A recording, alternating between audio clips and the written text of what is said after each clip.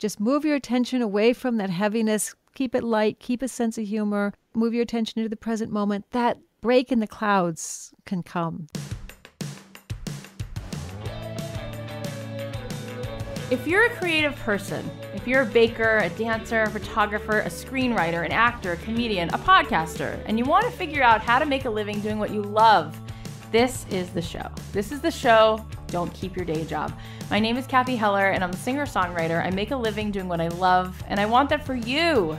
This is the show that's going to help you do that and give you not only inspiration, but some real life strategies. This is going to help you figure out how to take your creative passion and turn it into a profit. Hey guys, it's Cathy Heller. Welcome back to another episode of Don't Keep Your Day Job. How are you? What is up? How is your day going? Subscribe to our show, it really helps, and tell your friends to subscribe to our show. I was thinking one way that it could be win win win is if you subscribe to the show and you share the show with a friend, and then you use it as a means to keep each other accountable. So when you're inspired by something that one of our guests says, or you're inspired by something we're talking about on the show, choose a person who you want to share the show with and make a plan that once a week you're going to listen to the episodes and talk to each other and remind one another of what they have to do in this world and support each other, fly each other's flag, be each other's cheerleader, so that this inspiration actually turns into results. That every week you get closer to carving out the life that you want, to chipping away at making your dream a reality. Today's Passover, and I was thinking that true freedom is really a state of mind. True freedom, you know, yes, you could be free from something that's keeping you bound but inside yourself, the key is really to be free inside yourself, to be free from things that hold you back, from thoughts that keep you down. I've loved seeing the work that you guys have sent, and thank you guys for sending in your work. If you guys want more instruction on how to send me your work, I will be talking about my favorites in a few more weeks. You can go to nodayjobs.com and find out some instructions to send me your work. Also, I'm going to be launching something free for all of the people on my mailing list. So go to nodayjobs.com and you'll be the first to know about something really fun. We are all called to do something else, and that is our job. Every day, our job is to figure out why are we here. You're all here for a specific purpose, and you know it. What is that thing that lights you up that you just can't stop thinking about? That you've got to do? That when you think about it, your heart just beats a little bit faster. That's the thing that you're put here to do. Because here's the deal: our job is to be the greatest, most authentic expression of ourselves. That's our job. So instead of saying to yourself, "Well, what does it matter if I like to be an illustrator?" or "What does it matter if I'm, how am I going to really save the world if I'm making pottery or if I'm baking?" I'm telling you this if you are your most authentic, happy version of you, that is the best thing you can do to make a difference in this world, in this country, whatever you're thinking about. If you can get busy working on you and you're here to be a vehicle to inspire others, you're here to be yourself. So, therefore, you're going to inspire other people to be themselves. So, if somebody else has a dream to be writing or singing or creating something else, by seeing you do your thing, you're going to show them that that mountain is completely possible to climb. Does that make sense? So, I want you to get busy thinking about what can you do and how can you get out of your own way and get it done. We've all been there. And here's the deal. The pain, the pain that all of us have been through, that's just going to make you victorious. You know what I'm saying? Everybody you've ever looked up to in your life, this isn't somebody who you look up to because they had it easy. You look up to them because they went right through it. Instead of trying to go around it, instead of looking for the easy way out, we sit with it, we go through it. So on today's episode, I'm bringing on someone who's actually been so instrumental in my own life. Years ago, I was working on a show for the Jim Henson Company, and Lisa Henson asked me to go to this retreat for mindfulness. And I didn't know what that was, and I wasn't really sure, but I just went with an open mind. I sat down, and it was a whole day of learning how to meditate and be peaceful and feel our feelings well, within an hour of sitting on that cushion, I just wanted to run straight out of the room. My whole body was in so much pain physically. I felt like if you did an x ray, you would see how much pain my whole body was in. And it was all psychological pain because I had been running for so long. I didn't want to sit with what I was feeling. You know, everyone has their story. Over a period of time, I started studying mindfulness. I started going to classes at UCLA at the Mindful Awareness Research Center. And I started to experience what it felt like to separate from my thoughts, to separate from these things that I was just slowly going down the rabbit hole and chasing these thoughts and believing these thoughts. And so, of course, I'd want to distract from them. And I learned how to put some space between myself and these thoughts. And I learned that I'm so much bigger And that always within reach is this part of us that is so peaceful, that is so whole. I learned that there's this metaphor like the ocean. You know how, like, if you go down in the ocean, like five feet, 20 feet, a mile, it's completely still and it's deafeningly silent. It's so peaceful. But if you look up and you look up at the top layer of the ocean, it's always a little bit choppy because it's dealing with the weather. But the ocean itself, the majority of the ocean is so heavy and still and peaceful. But because of the weather, the top layer of the ocean is usually responding to the wind. Well, that's what we are. Our thoughts are typically running around and stressed and thinking about all different kinds of things the past, the future, anxiety, sadness when really the majority of what we are is this wholeness and this stillness and this groundedness because we all have that inner knowing that everything is actually exactly as it needs to be. And whatever has happened has only happened in a beautiful order because it was there to teach us something so that we could get to the next thing. So today I'm bringing on a person who has really inspired me and changed my life. Her name is Susan Kaiser Greenland, and she teaches mindfulness, and she's one of the experts teaching it all over the world. She's written two best selling books. Her first book, The Mindful Child, was a bestseller, and her second book, which is called Mindful Games, is out. And there are now activity cards that accompany that new book, and they were just launched last week. They're selling really well, they're in the top few hundred on Amazon. Go check them out. She's been teaching mindfulness, but what's also awesome about Susan is that she's also one of us. She started out as a lawyer and she liked it. She was a successful lawyer and she started to look into other kinds of things. And we're going to get to hear her story today, but eventually she became a person teaching mindfulness. And I think she's even more successful today, making a better living and serving her mission and her life's work than she ever did as a lawyer. And I can't wait to dive in and hear her story. But I hope through the course of the story that a few things you can take take away from this start to help you so that every single day, not only do we need to realize that we need to do stuff with our action, but our thoughts create our action. Our feelings determine our action. So our intention has to start with a peaceful state, a beautiful state. We have to be able to move our thoughts from the direction of things that are stressful to things that are helpful, to things that serve us. So I hope that today, throughout the course of listening to Susan's journey that we will also ask her some questions of how we can start to apply mindfulness to our own lives. And it's not heebie jeebie and it's not hocus pocus. They've done so many studies and it's really true. We as human beings, we can change our own physiology and our own nervous system completely depends upon what we're thinking and and our thoughts direct our feelings and our feelings then direct our actions. So if we really want to get the most mileage out of our life, we have to figure out a way to choose what we're going to think and to choose what's going to really be the best stuff. So if there's stuff that you love that comes out of this podcast, write it down, put it on a post it note, remind yourself, start to fill yourself up with the thoughts that serve you, with the things that empower you. You were born to inspire others. And I want you to trust and step out on faith that if you have the passion for something, you're going to contribute by doing the thing you're passionate about. All right, so now we're going to bring on Susan. I'm so happy you're here. I can't wait to dive in and hear your whole story. Susan, are you there? Yeah. Hi, Cathy. How are you doing? Good. We're so lucky to have you on the show right now. Thank you for making the time. Oh, I'm happy to be here, and I'm so excited to watch your career just take off and to hear that you've got this podcast. I'm very, very excited for you. Well, thank you. It's really, really fun. And you know, things that make you happy are good things to keep doing. So I want to talk a little bit about your story and how you wound up where you are, being one of the thought leaders, experts in the mindfulness world. How did you get there? And I know that you were doing something else when, in the beginning of your career. So, what was that path like? Can you take us through that story a little bit?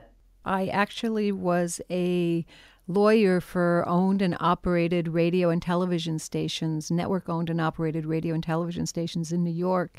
And I loved that work. I'm not one of those like recovering lawyers who hated their work. I actually enjoyed it. But what ended up happening was that I ended up um, learning to meditate in kind of a funny way, and then ended up sharing that meditation with kids, and one thing led to another, and I ended up transitioning into a different type of work. So being a lawyer is pretty different than teaching mindfulness all over the world. So so take us back. So you're a lawyer and you were a successful lawyer and you're liking it, you're doing that. And how do you then go to becoming a mindfulness expert writing books and teaching people all over the world? Well, what happened was I was pregnant with my son, who's now 23. Right. And my husband got a pretty lousy health uh, diagnosis that was not good.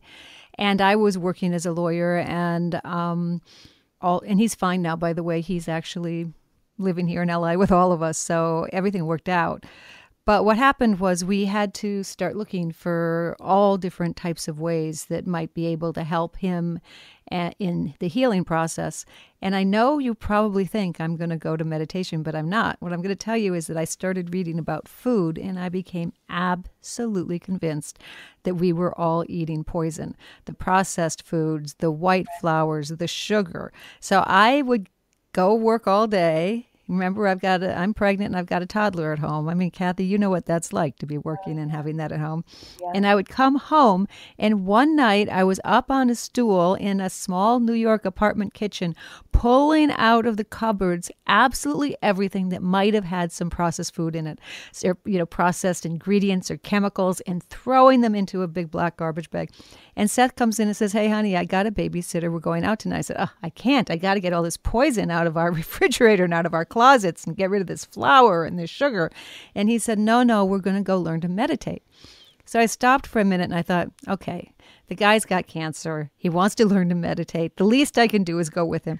so I, so I changed my uh, plans and I say, okay, we'll go. It's fine because I know it's really important for you to learn to meditate. He said, no, no, no, no, no, Susan, you've got this wrong. You need to learn to meditate because you're driving me crazy so that's how I learned to meditate. And then, like your description of what happened to you, Cathy, I know Cathy well for people who are listening and don't know us. I think we're wired in a similar way. When I actually got to that Zen center and sat down on a cushion, I just couldn't stay still. I I lasted just a couple of minutes, and my husband stayed the whole uh, sitting period, and I just went flying off that cushion and out onto the streets in New York to wait for him to finish. It almost like hurts. Like it's it's really painful. It's like a sunburn. It's really hard the first few times. Well, it depends. I mean, some people find it just blissful, and people have different reactions. I mean, that's true. That was just my experience.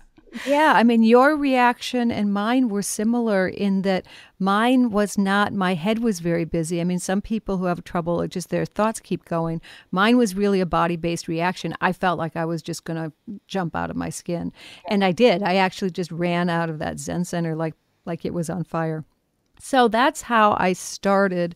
Eventually, I ended up learning, but if I knew then what I know now, I would never have started a practice during such an unbelievably stressful time. Sitting still, I would have started with a movement based practice or something else. We'll get to this later, but that's what I love about your work because it's bite sized and it's meant, you know, for children, for teenagers, but I think it's actually so powerful for adults. We'll talk about that later. So, what happened next? Well, next, my husband got better. We moved to Los Angeles. The kids were born and they get into school. And then and then I started actually studying meditation quite seriously out here with a American teacher from the Tibetan Buddhist tradition. Although all my work is secular and my family, my kids were bar and bat mitzvah and all of that, so going to Buddhist sanghas was not a good fit for our family. I have studied Buddhist meditation very seriously and then adapted those practices or translated them for a secular off audience and for a modern audience. And then yeah. I thought, wow, maybe this would help kids. So I started using my kids as a guinea pig and we did it at home and then I started volunteering at the Boys and Girls Club and then at schools and before you knew it before I knew it I was doing that more with more time than I was practicing law so eventually I segued out of the law practice into this full time. Wow. And now You've written two best selling books and you've spoken in how many countries? You've spoken everywhere. A lot. Yeah, yeah, a lot. I love that too, so I'm lucky. And I've got to tell you, Cathy, the law career, hmm. I truly believe, has really helped me with this work because what I really saw that I wanted to be able to do and other people do it too, but I thought it was a, a talent that I had was to translate this work to kind of get a, rid of the jargon, put it into plain English, and put it into simple context. And that's what I love doing. And I think that's really, if I have a contribution to offer uh, that's something unique to what my voice, I think that's what it is. It's such an incredible gift you've given to the world because, as you said, not everybody is going to relate to Buddhism, even though think it's pretty beautiful. But you were able to translate into a way for everybody to understand and find a place to welcome that in. And it's quite remarkable. And I've had the privilege of watching you teach, and you are just so kind, so centered, so not pretentious, so real. And it's such a blessing to know someone like you who is just shows up as a human being and makes space for other people, whatever it is that's going on with them. And yet you stay so grounded and so pleasant in your own space that I think it gives people permission to use that as an anchor. Start to feel their feet on the ground, their sit bones, and they start to breathe. So let's talk a little bit about some of what you think are places where people could start. What are some practices that you think are things that people can incorporate, ideas that they could even think about that you think would be beneficial as people are moving through their, their life? Well, I think there's a, a few basic concepts that once we are able to hold in mind make so many of the other things we hear about mindfulness and meditation make sense because you know mindfulness and meditation have become very popular and as exciting and cool as that is, it's a little bit of a downside because there's some confusion around it. Sometimes people think it's just kind of a hippy dippy California thing, or sometimes people over over promise about, you know, how mindfulness will cure all the ills that we have. So I think just a basic general understanding of the nervous system, which is what both you and I were talk, talking about Cathy and our origin stories, yeah. is a good place to re, to begin. And where I like to begin is just thinking of mindfulness as kind of a wonderful one two approach, like a one two punch, although punch is a little aggressive word for this idea, uh, to help us be able to just navigate the world with more wisdom and compassion and equanimity. And the first piece of that one two punch is mindfulness based strategies that help us calm an overly excited nervous system. Because you know what happens when our nervous system start start gearing up? What happens is something that Dan Siegel calls the window of tolerance our ability to tolerate emotions. It's what you were talking about in the intro. Gets smaller and smaller and smaller. And that's a good thing because we get moving into more of a, a fight or flight approach, a sympathetic nervous system approach. And so we don't want to be thinking a lot when we're scared and we need to run away from danger. What we want to do is just be able to act quickly. So our bodies respond in that way by narrowing our capacity to really be able to reason. And instead, what we have instead is we become very reactive and inflexible and we just do what needs to be done. We get it done. And that's very, very useful if you've got your hand in a fire as far as just pulling that out. Yeah. When we see that coming, which happens all the time now these days, when we start feeling that stirring up or that activation, what mindfulness can do is it helps us de escalate that response and move into a wider window of tolerance where we can tolerate more difficult feelings, where we are more open, where we're more receptive, where we're able to learn, where we're responsive rather than reactive. And how do we do that? It's really, really simple. We move our attention away from what we're worried about, what we're thinking about that's actually getting us more and more upset, into a present moment experience, into the feeling in a body, for example, like the feeling of breathing or the feeling of our feet against the ground, something like that. Or if it's tough for you to move your attention into your body, you can move it to a word, a single word, or a slogan. A slogan that works really, really well is this is what it is right now. Reminds us, okay, this is pretty lousy right now, but it's going to change. Yep. So once mindfulness has this way then of bringing the nervous system back more into a more baseline mode, more toward resting and digesting rather than fighting and flighting.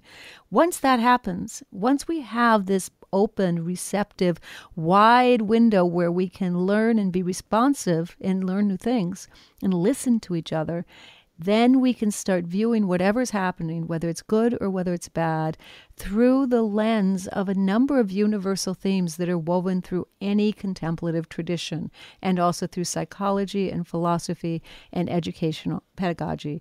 So, those kind of themes are the ideas of practice, the idea of patience, the idea of kindness and compassion and acceptance. We can learn to tolerate that and being uncomfortable. And I, I just feel like that's one of the most powerful things we could talk about and people could learn how to incorporate in their life is learning to tolerate being uncomfortable. Because let's face it, you know, you're going to be in traffic, you're going to get rejected. Life isn't going to always go your way. And if you are going to have a reaction to that every time, that's going to be really unpleasant. It's not going to be so easy to get through things. So, what might be something that somebody could start doing, like a bite sized practice you think that a person could do? Well, I think the thing to remember if you're really just starting out with these practices is try them out for a short time many times. That's why we call them mindful games. Just think of it as a game. You're just going to drop them into things that you're doing throughout the day. So, a real useful, useful kind of mindful game is that when you're about ready to leave in the morning, if you're anything like we are around here, often rushing on the way out the door, if just before you get to the front door, if you just take a moment and you stop and you just notice the sensations in the bottom of your feet, you just feel your feet. And you just stop, you breathe, and you just move your attention away from what's moving in through your mind into the sensations in your feet, making sure that you're relaxing your body at the same time because sometimes when we start noticing specific sensations, we tense up. So we really want to relax, let the tension drop out of our forehead, out of our shoulders, and move our attention into our feet, keeping our knees soft and our muscles relaxed. So then, every time throughout the day, if you feel, okay, I feel like I'm tensing up, just stop, whether you're seated in a chair, whether you're in the car and you've got your foot on the brake. I'm not suggesting taking your foot off the brake, but if you're stuck in traffic and you're or you're stuck at a at a stoplight, just stop, relax your body, move your attention away from what you're thinking into the sensations in the bottoms of your no, feet. No, I'm not someone who's had that experience and I'm listening to that, how how does that help a person doing that practice? How it helps us is again, if we just go back to what the original one two punch of this mindfulness powerful practice is, the first part of that practice is to help us calm. There's all sorts of different ways to help us calm down and to help us quiet our overly excited minds. And remember, our minds can be overly excited because we're very, very happy about something. It doesn't all need to be uh, just we're miserable about something. But sometimes, even if we're very, very happy about something and our minds are all jazzed up, it's it's not pleasant, it's not useful, and it's hard to see clearly. So, what we do when we notice that our minds are getting a little bit overly active or where we just really want to pause and chill out for a second is we move our attention away from what we're thinking about into a present moment experience. Sensation, the bottom of your feet, that's just that. What that will happen is you'll just start to notice a space open up. And all of a sudden, there's just a little glimpse of yeah. freedom. It's a glimpse of freedom from this thing that we have all day long of go, go, go, do, do, do, my email list, my grocery list, and all of the other things. So we just get a bit of space. It's like it's like in a rainy day like we've got here in LA, it's like that moment when the sun shines through the clouds. You just get that for a second and then it may cloud up again. But once you've seen that a couple of times, then things start to shift. Yeah, I think it's so so useful. I, mean, I think everybody should be able to integrate this to have more equanimity in their life. And one of the reasons I think it's so important for for people listening to this show and thinking, how am I going to quit my day job, do what it is that I love? How does it relate even more so? Is because I've talked about how, you know, it's important to work smart instead of just working hard. And if you don't create space and you're just constantly thinking, thinking, thinking, racing, racing, racing, you're not going to step back and say, whoa, whoa, wait, let me make a plan and let me begin with the end in mind and let me choose what my next step is going to be instead of just listening to what next thought comes across my mind, which is going to prompt me to do the next thing. And then I'm kind of, you know, spinning my wheels sometimes instead of stepping back and, like you said, seeing clearly. And One of the other just really simple things that I've learned from this that's so important, it sounds so simple, but it's really hard, is, you know, you taught me the idea of like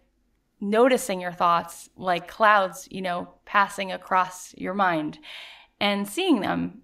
And you don't have to believe each one, and you don't have to then take each one on a ride or let it take you on a ride and think a thousand more thoughts that come from that one thought, which could be really self defeating or could be really negative or really stressful. And so often, I mean, I'm still constantly, you know, I'm just practicing mindfulness. I'm not an expert. I'll find myself caught up in some thought that's really stressful. That's like, it's like a loop and just keeps going. And I'll say, whoa, whoa, let me just take the space. And feeling your feet on the ground is like you said, it's that just gives a little window, just a little space. And then you can go back and then you can choose what's the next thing that's going to serve you. Gosh, how often are we all listening to this stuff? It's just such noise and it's really heavy sometimes, or it's not serving us and we're suffering. You know, we have these like headphones on all day that might be telling us things that are really stressful and not so helpful and not really true even even, you know. You just wrote a book called Mindful Games. This is your second best-selling book. What else can you share with us that's in there that, that we might be able to integrate? I'm trying to think of things for your audience. So I think for people who are in that situation, which I think many of us are in all the time, we may not have a nine to five job, but we are, we always have a goal. I mean, think of how many times, you know, you set your goal, you meet it, but by the time you meet that goal, you've already set the new one. So you're not really able to appreciate, oh, wow, I did this. So, one of the things that we can do when we start seeing this kind of a pattern is that's when we can start doing some reframing practices. And the reframing practices, I think, are very, very important. And they tie into the idea of a more mindful worldview or a wiser and more compassionate worldview. And we can't really move into those reframing practices, or it's hard to do when our nervous systems are all jacked up. So that's why it's very important to learn these other practices that help us have a you know have a wider bandwidth so we can start thinking about other alternatives or other points of view. And the other thing that's really important when we're doing worldview practices about reframing is we don't pretend that the problems that we have aren't there. I mean, it's not about sweeping our problems under the rug, it's not about getting rid of emotions that we don't like. It's about acknowledging them, but opening up our bandwidth to understand that there's there's more in our lives too.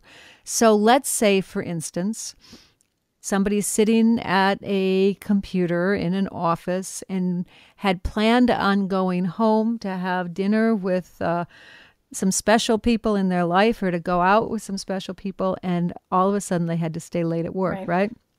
And they're stuck there. So we've got a couple of choices there. Either we can just tense up, right? So we get angry, we get mad, we feel bad. We can just tense up, which is usually what happens when those strong emotions come in. Or we can use it as an opportunity to repeat that slogan, which I find so unbelievably helpful. This is what it is right now. And implicit in that slogan is that means things are going to change. So this is what it is right now. It's really uncomfortable. It's not what I want, but I'm going to just relax the muscles in my forehead. And then you move down your body. You're going to relax the muscles in your face, staying upright in your chair. Relax the muscles in your shoulders, in your upper arms, in your lower arms, in your hands, in your chest, in your tummy, in your seat against the chair, in your upper legs, in your lower legs, in your feet, and now just really feeling your body sitting in the chair and just feeling the relaxation in your body. Just see if you can bring to mind three positive things right now that are in your life too. We're not pretending that it doesn't totally stink that you're stuck there at the office when you had other plans. But there's good in the life too. So we relax our bodies, we get into the moment, and we expand our horizon to realize that there's good with the bad. And that too has a way of just opening up the sky a crack, letting some light in, letting the light shine in. And then also when we're more physically relaxed and not all tensed up, it's easier to get our work done and go home. Yeah, So those are that three good things can be modified in all sorts of ways. So let's say you're just annoyed that you're stuck working when you really want to be doing something else. When you feel those negative emotions, you acknowledge them, you feel them, but see if you can bring to mind three things that are going in the direction you want your career to go to.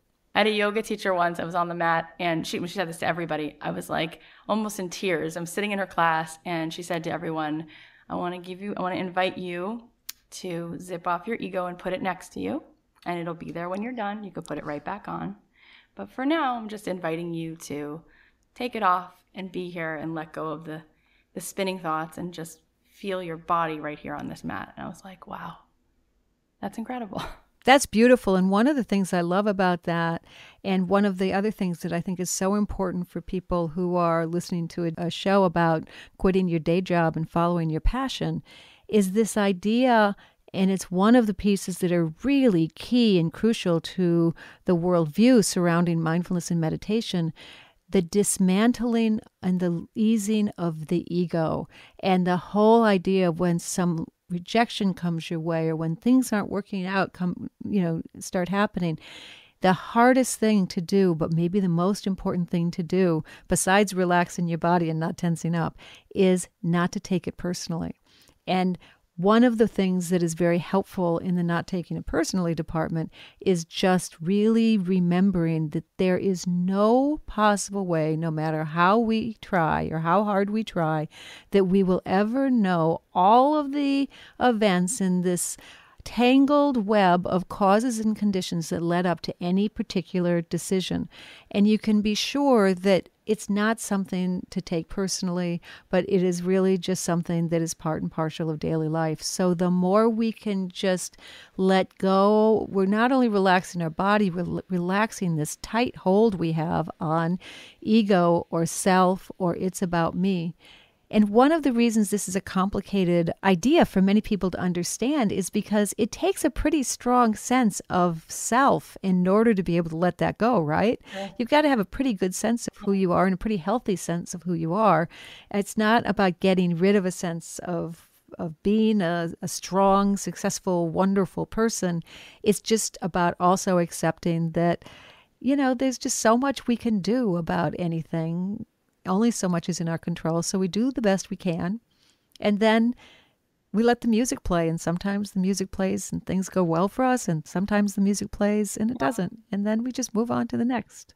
I said it in the first book I wrote in The Mindful Child, and I said it very recently in a blog post about 2017 that, you know, because it might be a very unique year that we're going into politically. And I said, you know, if we can just remember to keep it simple and to, you know, keep our sense of humor and to keep it fun, then whatever we go through will be a whole lot easier. So I think when we're faced with these obstacles, if we just try to stay simple and not overcomplicate things, try to keep it as fun as possible and keep our sense of humor because when we're looking at the activity of our minds, it really is hilarious. I mean, the things we say to each uh, ourselves, you know, the things we think about, the loops we get into, I mean, they're funny. Yeah, I, I was recently watching something and it was saying how you know, you might have had an art teacher who told you, you know, you're not that great, and you might have had a, an uncle who told you something else, but it'll never stack up to the amount of criticism you give yourself. And that's why it's yeah. so important to be able to at least notice it and just the noticing of it might calm it down a little bit. Yeah, and that's where the mindfulness piece really does come in very handy like throughout the day because like you said, we take it it gets very heavy after a while. The burdens seem heavy. We take ourselves very seriously and our work very seriously, and that has a way of wearing us down both mentally and yeah. physically. But if we're able to just, you know, take a break, take a mental break a few times a day, short period of time frequently throughout the day day. Just move your attention away from that heaviness. Keep it light, keep a sense of humor, move your attention into the present moment. That break in the clouds can come. Then we're making the space for that break in the clouds and the sun to come in and to have a little bit more lightness and fun in in our workday. Because come on, you know, these creative jobs, they're they're 24 7 i mean you wake up in the middle of the night and think oh that's an idea. God can i jot that down? You know it's like that's the beauty of them but they can also uh, they take over because they're your passion uh, and we want that to happen, but we also have to be able to have some fun and, and have a sense of humor around it too. Susan, are there different approaches to using this, these techniques in terms of what it is that's going on, whether you didn't get the call back or somebody's just bothering you at the DMV or you had a fight with someone you love? Would you say that there's different approaches then with the technique or would you say it's a catch all? Yes and no. I'd say I'd say that the technique is very similar, but what's going to happen in each one of those situations is what you are bringing to the party. So for instance, if it's if you're at the DMV and you're just standing in line, okay, so that's just plain old frustration and that's a very different level of of upset than if you're having a very meaningful fight with somebody that you love or if you have lost some work opportunity that you were very, very invested in. So it's really a matter of scale of what your response is as opposed to the technique. And I think I'm really glad you asked that question because what's important to remember is that the more emotional charge that you are working with when you're practicing mindfulness and meditation, especially early on, the more important it is to understand that there's all sorts of different ways in. So, for instance, if you're in a situation that you're quite, quite emotional because of the argument with somebody you love or because the loss of a very important uh, work opportunity, that might not be the best time for a meditation or mindfulness practice where you're sitting still. Yeah or where that might be a better time for some movement practice, whether it's walking. In those situations, I love the practice thankful with every step. It's really one of my favorite practices of all time. And you can do it whether you're walking on a hike in the Santa Monica Mountains or if you're just going back and forth between the kitchen table and the sink. And what it is, is just every time you take a step, you just remember, you say silently to yourself something you're thankful for. Yeah. So that helps ground you and it keeps you moving because when you're absolutely still, if you don't have a lot of practice, it can sometimes be very difficult to contain and to hold those emotions, and we don't have to. Another good thing to do when you're having a really hard time staying still because the emotions are running high, and it's something I wish I knew in that Zen center, and Cathy, I wish I had told you about before your day long, is just sway from side to side and give yourself a squeeze, give yourself a hug.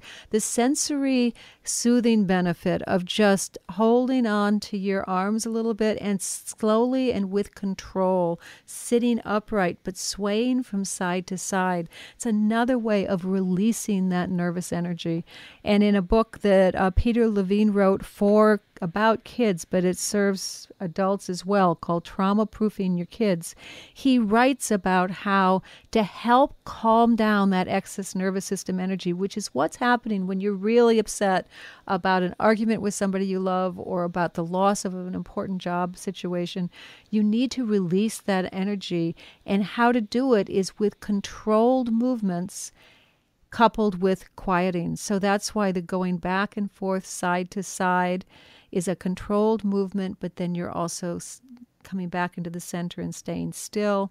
Or the walking and being thankful for every step is also a way of movement controlled release of energy, but still some focus. So I think that's the real key is that it's not so much what is the trigger for the event, it's the amount of emotional charge that comes with it and our way of dealing with what's happening. It, eh, we have to modify our mindfulness method uh, based on just how difficult it is for us to be uh, holding these uh, everyday emotions. Yeah. I encourage all of you listening to follow Susan. She's Susan Kaiser Greenland, and she has two great books. One is called The Mindful Child, but I'm telling you, as a person who has read it many times, it is great for adults. And she has a new book called Mindful Games. Susan, where can people find you, and how, how can they find more content that you're putting out? Um, my website, it's susankaisergreenland.com. And if that's a little long, you can also just go to innerkids.com and that'll go to the same website.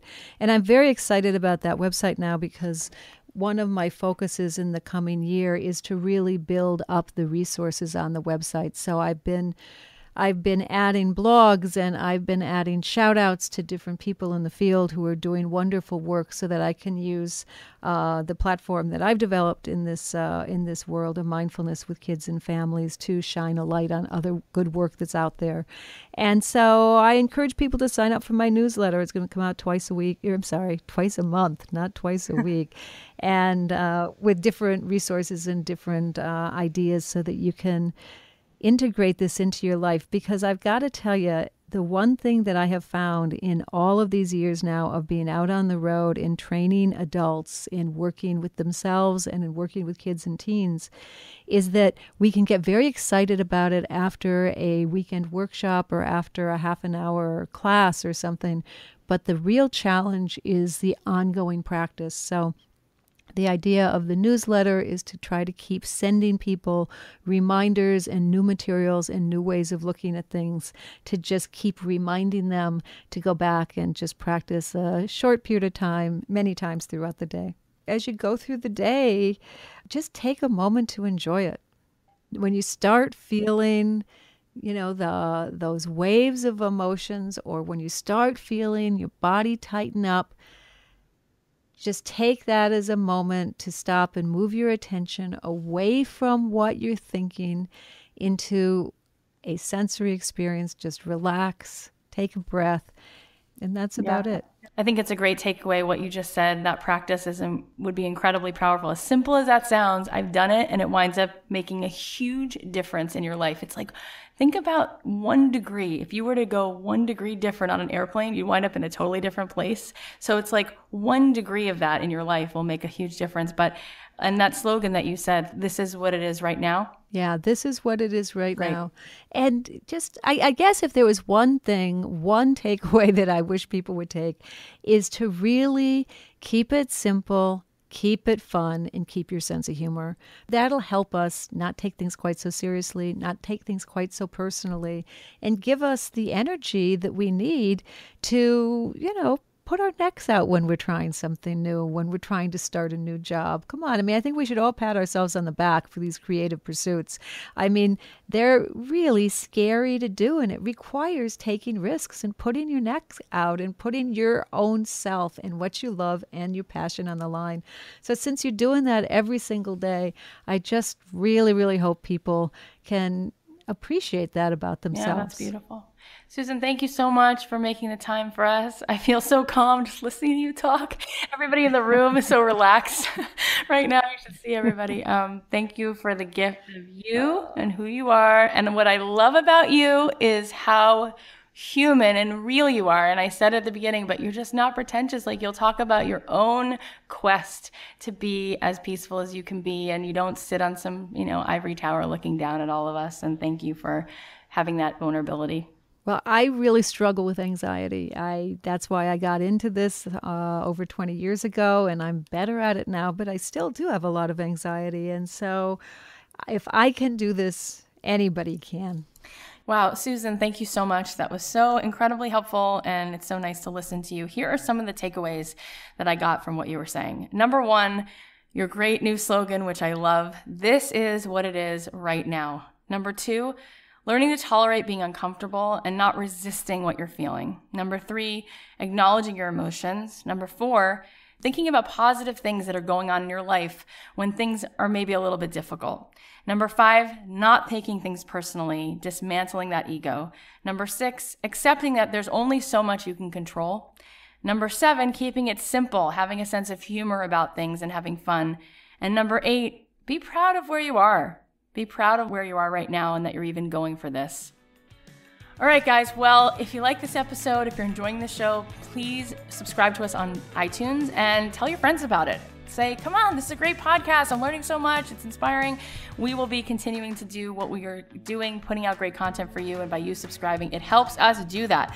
You can follow us on Facebook at Don't Keep Your Day Job. It is always so much fun to share these episodes with you. Thank you for listening, and we'll see you next time. I want to give a shout out to the amazing team who makes this show possible. Special thanks to our executive producer, Tim Street, and producer, Emma Kikuchi. The podcast is a production of Authentic. For more info on advertising in this show, visit AuthenticShows.com.